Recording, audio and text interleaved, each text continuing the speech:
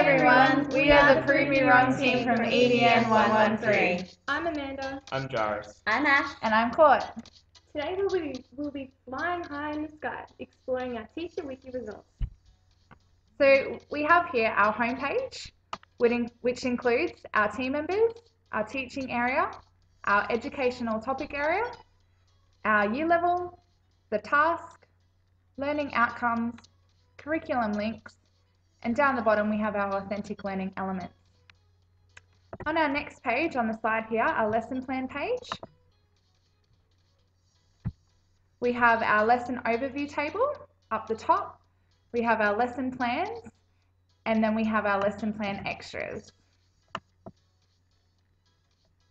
On our student resource page, we have all of our student resources from websites to books to movies to documents and interactive games. We also have the same on our teacher resource site.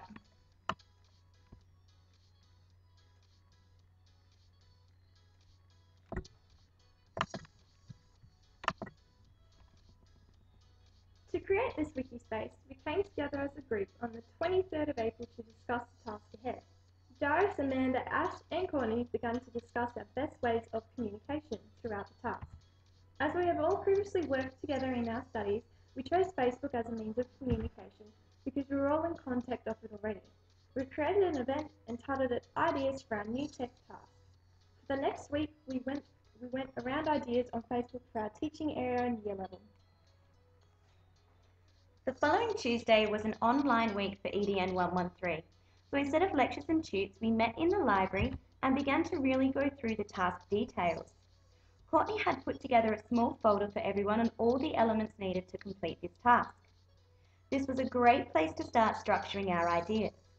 We then chose our teaching area of science, more specifically atmosphere and climate. We then looked through, our, through the curriculum and chose grade 5 to 6. We chose the topic area of clouds and how they affected and are affected by precipitation, seasons, and global warming.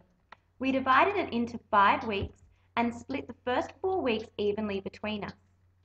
Amanda took what are clouds, Jaris took precipitation, Ash took the seasons, and Courtney took global warming. We set out a basic lesson by lesson outline and went away to elaborate on our plans. We also established all our authentic learning elements. Over the next week, Courtney created the wiki page and added all of the details on our communication page. The following week, we uploaded all our lessons and discussed where improvements were needed. We then allocated the final elements of the task.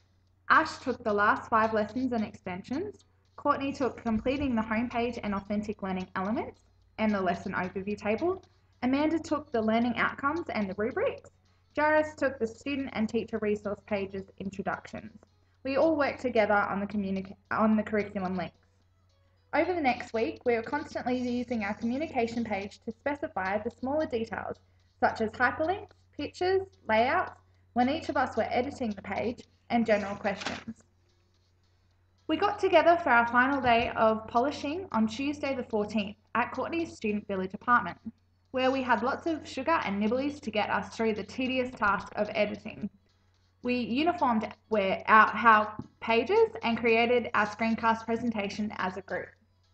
Although we completed many elements of the task separately, we collaborated and discussed in depth our plans over our communication page and in person, which consequently produced an overall in instructive and insightful wiki space. Okay, guys, it's time to get our head out of the clouds and come back down to earth. We will see you later.